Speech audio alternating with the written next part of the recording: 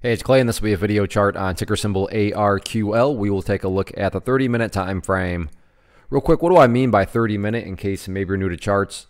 Instead of each one of these candlesticks here, representing one day's worth of price action, each one represents 30 minutes. So while this here may look like several days worth of time, it's actually today's price action broken down into 30 minute time slices. I like to this time frame and does a good job of telling the quote unquote story of the price and then makes mapping out where levels of support and resistance a bit easier to see.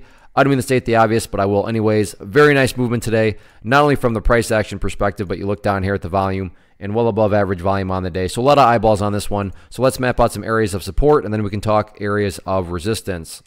Now, the one thing that caught me off guard is I didn't look at this one during the final 30 minutes at all. So when I was looking at it, I'll put this into context. The chart was basically looking like this, so I'm kind of already starting to formulate what I'm going to talk about. I'll look at that nice solid area of support right there. You know, you got the nice, uh, you know, upwards move, so kind of looking like a bull pennant pattern.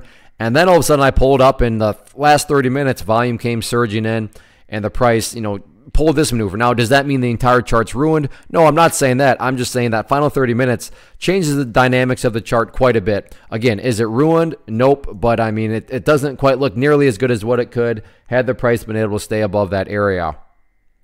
So the first level to keep an eye on is going to be that former breakout area right there around $8.30. And it's kind of almost a double whammy, if you will, of supports.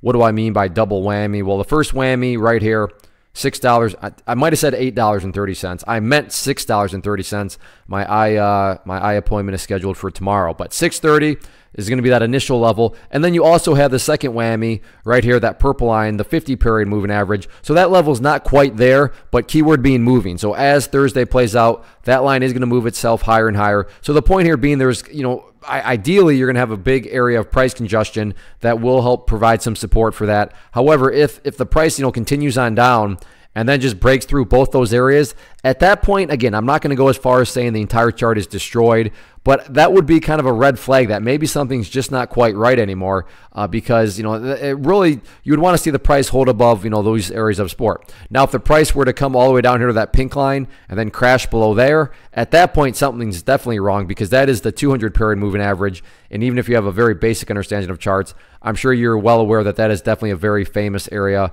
um, that you want to see the price stay above. As far as areas of resistance are concerned, just keep an eye on that overall trend line right there. But as of right now, given the, the final 30 minutes, top priority, in my opinion, is not necessarily breaking levels of resistance, more so making sure that this downwards move doesn't spin out of control or anything like that. So we'll see how this one plays out on Thursday. One of the biggest questions I get is, hey Clay, how do you find the stocks that you trade? So what I've done is put together a free resource guide where I talk about the tools that I use to locate stocks that I find interesting and think may have potential. So if that sounds like something that could add value to you as a trader, then click on the image that is up on the screen right now and I will email you the guide. The guide itself is very short and to the point, and best part, it's completely free. Thanks for watching the video. Let me know if you have any questions.